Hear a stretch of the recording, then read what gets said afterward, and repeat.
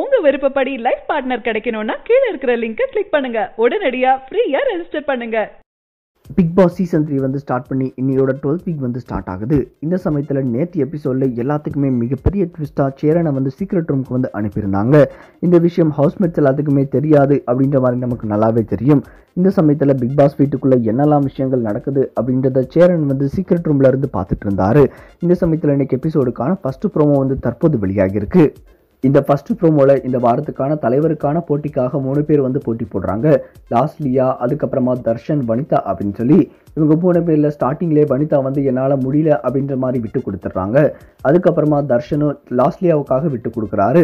லாஸ்ட்லியா வந்து என்ன சொல்கிறாங்கன்னா எனக்கு இந்த மாதிரி ஒரு வெற்றியே தேவையில்லை அப்படின்ற மாதிரி சொல்கிறாங்க தர்ஷன் எனக்கு கால் வலிக்குது அதனால தான் விட்டு கொடுத்தேன் அப்படின்ற மாதிரி சொல்லும் பொழுது கவின் வந்து உனக்கா கால் வலிக்குது? ஏன் இப்படி பண்ண? இதை வந்து விளையாண்டே கொடுத்துருக்கலாம் அப்படின்ற மாதிரி சொல்கிறாங்க அதுக்கப்புறமா லாஸ்ட்லியா இந்த மாதிரி வெற்றி எனக்கு தேவையில்லை அப்படின்ற மாதிரி தர்ஷன் ஏன் தர்ஷன் இப்படி பண்ண? எனக்கு இப்படி ஒரு வெற்றி வேணாம் அப்படின்ற மாதிரி லாஸ்ட்லியா வந்து தர்ஷன்கிட்ட போய் சொல்கிறாங்க இது எல்லாத்தையுமே சேரன் சார் வந்து சீக்ரெட் ரூமில் வந்து பார்த்துட்ருக்காரு.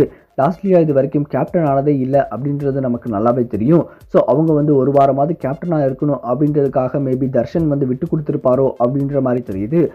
ஸோ இந்த வாரத்துக்கான லீடராக தற்போது லாஸ்ட்லியாக வந்து செலக்ட் பண்ணப்பட்டிருக்காங்க.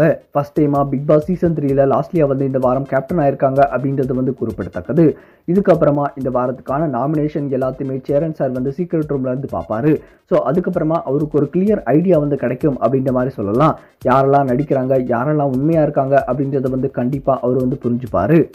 அது மட்டும் இல்லாமல் இந்த வாரம் ஃப்ரீ டாஸ்க் இருக்குது அப்படின்ற மாதிரியான அப்டேட்ஸும் கிடச்சிருக்கு. ஆல்ரெடி ஓப்போ ஃபோனுடைய விளம்பரத்துக்காக எல்லாருமே செல்ஃபி எடுத்து அவங்களுடைய ஃபேமிலி மெம்பர்ஸ்க்கு வந்து அனுப்பியிருந்தாங்க. ஸோ அந்த வீடியோ பார்த்துட்டு அதுக்கப்புறமா அவங்களுடைய ஃபேமிலி மெம்பர்ஸ் எல்லாமே ஃப்ரீ டாஸ்க் மூலமாக பிக் பாஸ் வீட்டுக்குள்ளே வருவாங்க அப்படின்ற மாதிரி எதிர்பார்க்கப்பட்டு வருது. ஸோ கண்டிப்பாக இந்த வாரம் ரொம்பவே இன்ட்ரெஸ்டிங்காக போகும் அப்படின்ற மாதிரி சொல்லலாம். சரி இப்போ ரிலீஸ் இருக்க இந்த ப்ரோமோ வந்து நீங்கள் பார்த்துட்டீங்களா? இந்த ப்ரோமோவில் லாஸ்ட்லியாவுக்காக எல்லாருமே விட்டு கொடுக்குறாங்க. இதை பற்றி உங்களுடைய கருத்துக்கள் என்ன அப்படின்னு சொல்லி மறக்காமல் கமெண்ட் செக்ஷனில் கமெண்ட் சரியான நபரை உங்கள் வாழ்க்கை துணையாக தேர்ந்தெடுக்க தமிழகத்தின் நம்பர் ஒன் சேவை மையத்தை அணுகவும். ஃப்ரீ ரெஜிஸ்ட்ரேஷன் ஒவ்வொரு கம்யூனிட்டிலையும் பல ஆயிரக்கணக்கான சாய்ஸஸ் உங்களுடைய ஜோடி பொருத்தமும் ஜாதக பொருத்தமும் துல்லியமாக பார்க்கலாம். உங்க விருப்பப்படி லைஃப் பார்ட்னர் கிடைக்கணும்னா கீழே இருக்கிற லிங்கை கிளிக் பண்ணுங்க. உடனடியா ஃப்ரீயா ரெஜிஸ்டர் பண்ணுங்க.